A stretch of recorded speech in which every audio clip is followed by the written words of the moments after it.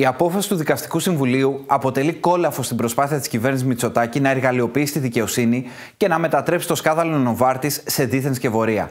Κανείς δεν παραπέμπεται για χειρισμούς τους στην υπόθεση Νοβάρτης, ενώ δεν παραπέμπονται καν οι δημοσιογράφοι, την ενοχή των οποίων για δίθεν συμμετοχή τους σε σκευωρία είχε προαναγγείλει ο ίδιος ο κ. Μητσοτάκης από το βήμα της Βουλής.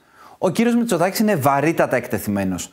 Το σκάνδαλο Νοβάρτης είναι πλέον και με τη βούλα της δικαιοσύνης υπαρκτό η απόπειρα συγκάλυψής του κατέρευσε παταγωδός.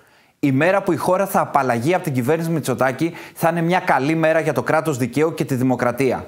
Γιατί θα ανοίξει εκ νέου ο δρόμος για την απονομή δικαιοσύνης και στο σκάνδαλο Νοβάρτη που τόσο ζημίωσε το δημόσιο συμφέρον.